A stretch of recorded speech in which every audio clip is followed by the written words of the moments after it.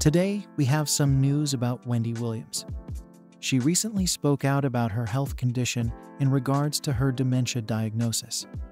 Let's get into the specifics. For the first time, Wendy Williams is speaking out about her diagnoses with frontotemporal dementia and primary progressive aphasia. Williams, who is 59 years old, expressed gratitude to her fans for their overwhelming support in the hours after the news was made. She said, I want to say I have immense gratitude for the love and kind words I have received after sharing my diagnosis of aphasia and frontotemporal dementia. Let me say, wow, your response has been overwhelming. The messages shared with me have touched me, reminding me of the power of unity and the need for compassion. I hope that others with FTD may benefit from my story.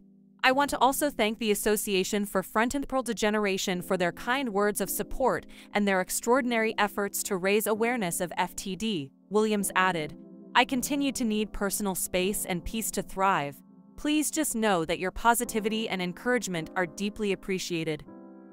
Wendy Williams' team stated in a statement that, throughout the previous few years, there have been concerns expressed about Wendy's capacity to comprehend information, and many were speculating about her health, especially after she started to act erratically, lose her words, and have trouble understanding financial transactions.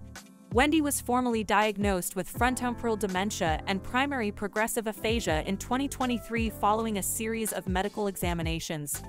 Wendy is still capable of doing a lot for herself.